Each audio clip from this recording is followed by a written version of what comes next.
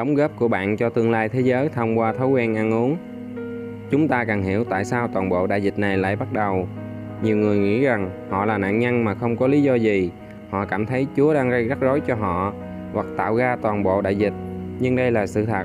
Trực tiếp từ Thánh Thư mà chúng ta biết, Đức Chúa Trời tạo ra mọi tình huống thích hợp vì lợi ích của con người để hiểu những sai lầm của chính họ, hiểu được lý do gốc rễ cho những đau khổ của chúng ta là rất quan trọng. Có phải tất cả chúng ta đều là những người từ bi, nhân từ, tốt bụng hay không? Hãy để chúng tôi đặt câu hỏi này cho chính mình. Con người chúng ta hoàn toàn bạo lực với tất cả các loài động vật, tất cả tạo vật trên hành tinh. Chúng ta hoàn toàn coi trái đất như một người mẹ. Chúng ta đang lạm dụng tài nguyên của cô ấy một cách bất chính. Chúng ta không quan tâm đến đồng loại.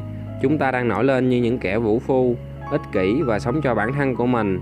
Chúng ta tàn sát các loài động vật khác vì sở thích của chúng ta và các hình thức tham lam khác.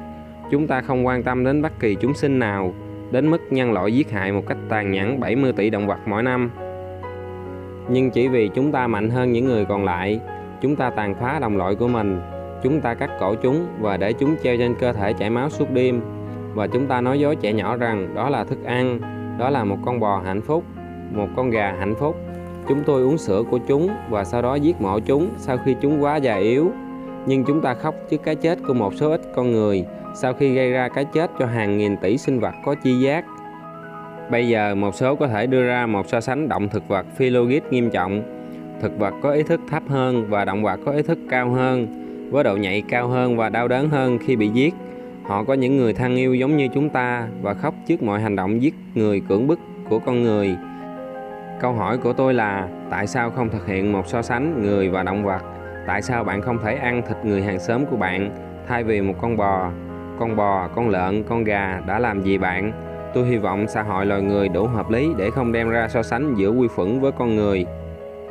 Bước ra khỏi các quyền hiến định trong vùng an toàn của chúng ta trong giây lát và nghĩ về các quyền phổ quát sẽ cho chúng ta một bức tranh rõ ràng hơn. Bây giờ và ở đây chúng ta hãy bỏ qua khuyến cáo bất kỳ chúng sinh nào.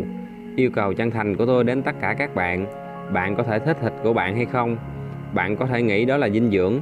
Tất nhiên bạn có nhiều thứ hơn trong chế độ ăn uống dựa trên thực vật.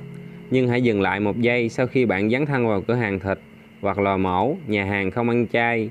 Hãy nghĩ xem con gà đó đã yêu gà con của mình như thế nào trước khi chết hay tình cảm của bò mẹ như thế nào trước khi con bê con của cô bị bắt đi để bị sát hại.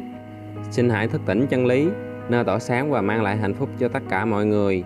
Một số người có thể nghĩ rằng họ hoàn toàn hoàn hảo và không xứng đáng nhận được những bài học từ Chúa, nhưng tất cả chúng ta đều làm điều gì đó để lấy lại thứ gì đó, ngay cả trong những lần sinh trước của chúng ta. Vậy làm thế nào để vượt lên trên một mức độ? Tất cả chúng ta đều mắc sai lầm.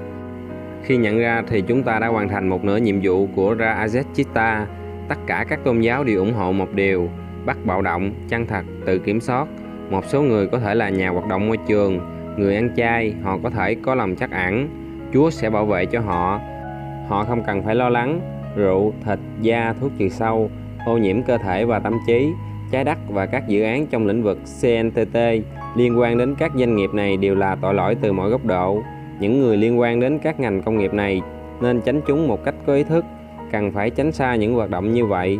Điều này bao gồm khai thác đá, khai thác quy mô lớn trong công nghiệp để thu lợi nhuận tư nhân. Dự trữ của trái đất không nên được sử dụng quá mức. Bạn có thể chuyển công việc kinh doanh của mình sang những việc khác như chăm sóc bò và bán các sản phẩm. Bạn có thể làm nông nghiệp, vệ sinh đang có nhiều nhu cầu hiện nay. Bằng cách làm những việc này và nhiều việc khác nữa, chúng ta sẽ làm được tất cả rất nhiều công đức. Và vâng, đây không phải chỉ là một bài giảng vét không vét, nó là một chân lý phổ quát đó là một dạng quyền phổ biến những người đổ xô đến chợ cá để mua cá không bao giờ nghĩ đến việc những con cá này sẽ cảm thấy như thế nào khi chúng bị bắt và kéo lên khỏi mặt nước. Nhưng chính những người này sẽ cảm thấy như cá ra khỏi nước nếu chúng bị cách ly nhốt. Một khi chúng ta ngăn chặn tất cả những hành động tàn bạo này chúng ta sẽ trở thành con người thật sự. Cho đến lúc đó chúng ta là những sinh vật mang rợ không xứng đáng nhận được sự giúp đỡ của chúa. Như một số câu hỏi chúng ta trong hộp bình luận Bây giờ đại dịch này chỉ là một khởi đầu, nó chỉ là một sự khởi đầu của những bài học của Đức Chúa Trời cho loài người. Hãy tìm hiểu nó là gì, nếu không chúng ta sẽ phải hứng chịu một nỗi kinh hoàng lớn hơn. Vì vậy, đây là nguyên nhân sâu xa nhất cho mọi sự khốn cùng trên trái đất. Tôi biết tôi đã thẳng thắn ở đây và nhiều người có thể bị tổn thương, bao gồm một số người phụ thuộc vào thịt, rượu và các tệ nạn khác. Như một công việc kinh doanh hoặc một cứu cánh, tôi chân thành yêu cầu tất cả họ thay đổi. Hãy chia sẻ video này đến một người và tất cả, vì mọi người đều xứng đáng có cơ hội để thay đổi. Đây là lý do sâu xa nhất cho đại dịch này và thậm chí cả những nỗi kinh hoàng khác mà chúng ta phải đối mặt, bao gồm tất cả những rắc rối cá nhân sẽ xuất hiện trong vòng chính thời gian nghiệp của chính chúng ta. Điều đó được phản ánh trong tử vi của chúng tôi như là thời kỳ Dasa. Ngoài ra, đó là khả năng miễn dịch của chúng ta thật sự mạnh mẽ nhất. Nó có thể cứu chúng ta khỏi bất kỳ bệnh vi sinh vật nào.